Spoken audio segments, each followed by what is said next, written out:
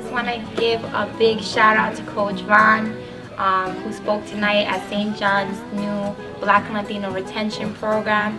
Um, to our freshman students, it was an incredible night.